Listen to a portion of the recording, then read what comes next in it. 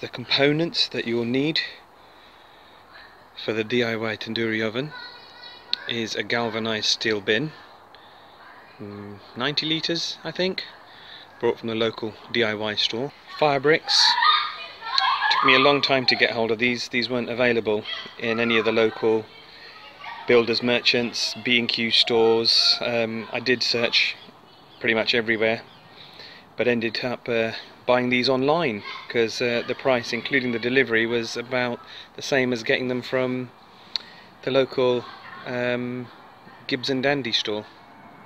A terracotta pot also um, from the local garden centre and some vermiculite so this is uh, required for the insulation and um, again I got this from the local DIY store um, had a look um, in the likes of B&Q and couldn't find it there and then just ordered this online click and collect very easy to get hold of really once you know and then how. I've got some sand as well uh, which will be needed just to fill in some of the gaps and the holes um, that will be created. And the equipment that you're going to need is this is going to be integral an angle grinder with a diamond cutting blade there's a lot of masonry that we're going to be cutting through today and then health and safety wise uh, some safety gloves and safety goggles Step as well. One of the process is to create the base of fire bricks within the galvanized steam steel bin so I've laid them out here and I'm going to place this bit on top of and then draw around it and then use the masonry drill to cut them out. What I think I've got is enough spare space to uh, completely cover this area when I need to. that's uh, the bin marked up on the bricks. Now I'm just going to use the angle grinder to uh, cut those this out. the finished base now that it has been cut with the angle grinder. Not an easy task I must admit. Uh, lots of angles, lots of fiddly bits. Uh, took a good good hour or so, if not a bit more, but uh, I think we're there. Uh, as you're putting it into the bin, we might need to uh, um, take it down a little bit more, grind it down a little bit more, but uh, that's just uh, as and when. Okay. Just lined the inside of the bin with some sand at the base there, just to ensure a snug fit of all of the bricks.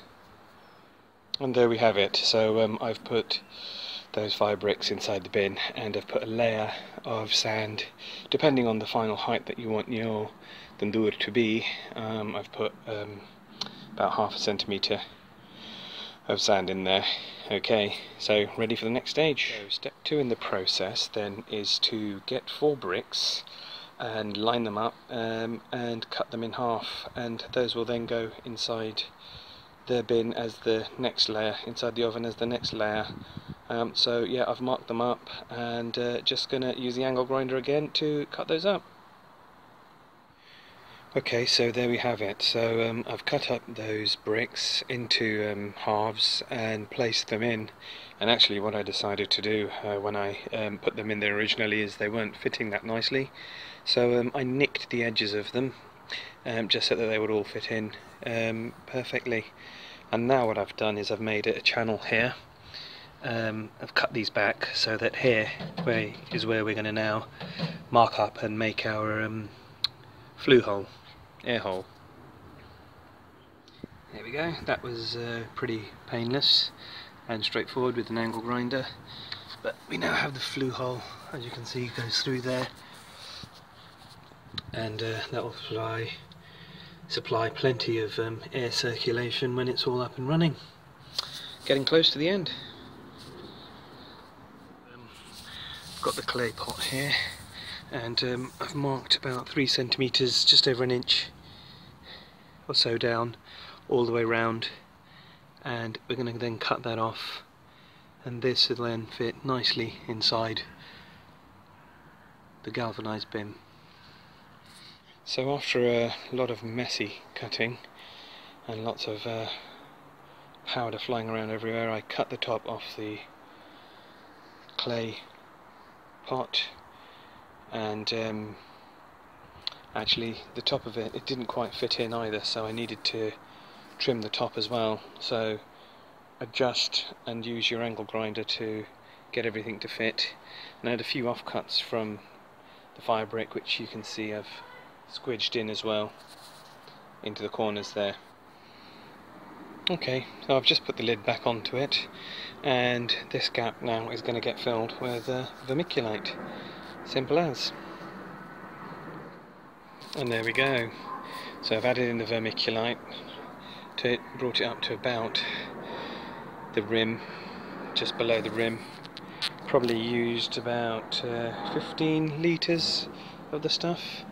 Very very light very very insulating apparently and then if we do the big reveal here we go there we go so that is your DIY tandoor ready to go. Now let's fire it up and see how it how it performs. And uh, here is it in action. Put some chicken tikka in there with some smoking embers, so it's uh, smoking it up and cooking it up. And then later on I'm going to put some naan in there too, tandoori naan.